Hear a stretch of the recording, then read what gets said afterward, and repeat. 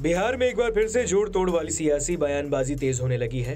कांग्रेस विधायक दल के नेता अजीत शर्मा ने बिहार में हो रही आपराधिक घटनाओं के लिए सरकार को दोषी बताते हुए बीजेपी और जदयू पर हमला किया है। उन्होंने कहा है, बिहार में अपराधियों के तांडव के लिए सरकार जिम्मेवार है। बीजेपी के दबाव के कारण नीतीश कुमार की चल नहीं पा रही है।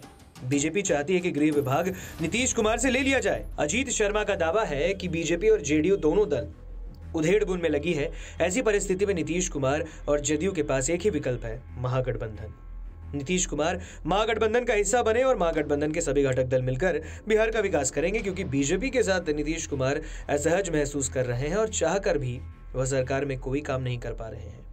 अजीत शर्मा के इस बयान के बाद बिहार की सियासत में कड़ा